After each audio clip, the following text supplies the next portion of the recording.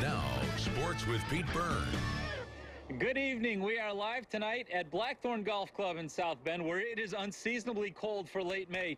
But in less than a month from now, the weather, I'm sure, will be much warmer, and this course will be packed as the Symetra Tour descends for the annual Four Winds Invitational. They held a media day for the pre-tournament today. Among the attendees was Kristi O'Brien, a Symetra Tour player who recently made her debut on the LPGA Tour as well. She had a chance to play the course and visit with us, and I asked her why she and her fellow Symetra Tour players enjoy coming to this tournament so much.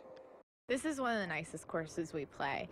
Um, the conditions, at least last year, were great, and it's a fun course. I love Midwest courses. That's what I grew up on, but uh, th this is definitely uh, a great condition compared to some others. We're really trying to get some of the folks that maybe aren't avid golfers to kind of find a way to get involved with the tournament because at the end of the day, everything that we're doing is raising money for the Memorial Children's Hospital. And what better way to, to raise money than through a fun week of golf and different activities?